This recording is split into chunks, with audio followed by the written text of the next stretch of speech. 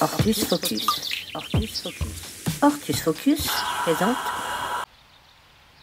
Vallée du Grésivaudan dans l'Isère. Ici, à Tansin, au pied du massif de la Grande Chartreuse, Sylvain Brunet-Manca et son compagnon Laurent Viera cultivent leur jardin. Le Mas des Béalières est un jardin à quatre mains sur une terre à la très longue histoire. Historiquement, ici, c'est la famille de ma grand-mère, donc ce sont des agriculteurs euh, qui sont arrivés ici euh, depuis euh, plusieurs siècles. Le terrain, donc c'est une ancienne prairie qui ne servait que pour le bétail, donc soit pour faire paître les vaches, soit pour récolter le fourrage. Alors la ferme, mes grands-parents ont toujours voulu qu'elle soit préservée, que le bâtiment et le terrain soient préservés. Et un jour, j'ai eu une discussion avec mon grand-père, je devais avoir 17 ans, et je lui ai promis ce jour-là que si un jour j'étais ici, il n'y aurait jamais de lotissement. Après le décès de mon grand-père, ma mère m'a proposé de me donner une partie euh, des bâtiments et du terrain. C'était naturel que le terrain devienne un jardin.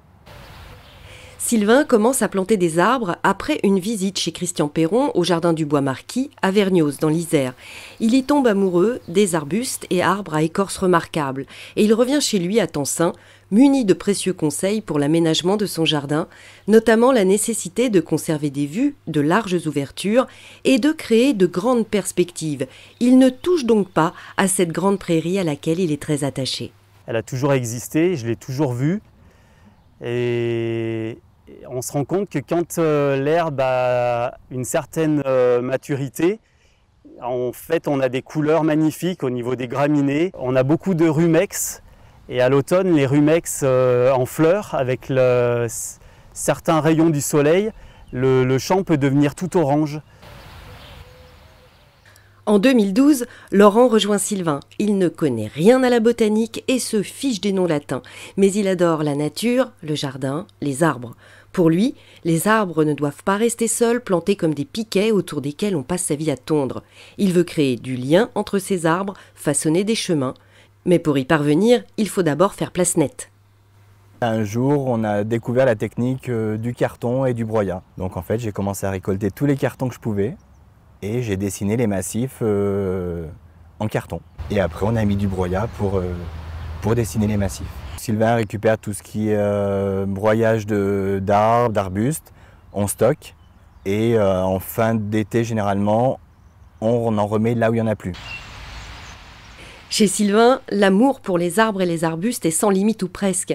Il peut parler des heures du tulipier qui fait l'admiration des visiteurs, des ronces colorées découvertes en Angleterre, des cornouillers plantés dans la seule partie ombragée du jardin et des rhodos impossibles à cultiver ici, la faute au coup de chaleur.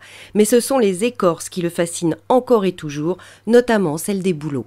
Dans les tons blancs, forcément, on a le Jacques Monty qui a le, tronc blanc euh, très très pur. Et puis ensuite, on va avoir euh, des bouleaux euh, qui vont avoir les écorces, euh, l'écorce un peu orangée. on va avoir Red Panda, lui qui va être plus dans les rouges. On va avoir Wakehurst Place Chocolate. Donc ça, c'est un boulot magnifique qu'on peut voir à Kew, en Grande-Bretagne. Les massifs naissent ici et là chaque année. Les vivaces, elles, sont pour la plupart regroupées dans une grande plate-bande au pied de la toute nouvelle pergola. L'espace se remplit peu à peu au rythme de nouvelles plantations, notamment de conifères très utiles en hiver. Il faut savoir qu'ici en vallée, euh, donc vallée du Grésivaudan, on est entre la Grande Chartreuse et la chaîne de Beldonne. On peut avoir des périodes où on est dans le brouillard et on n'en sort pas pendant 15 euh, jours, 3 semaines.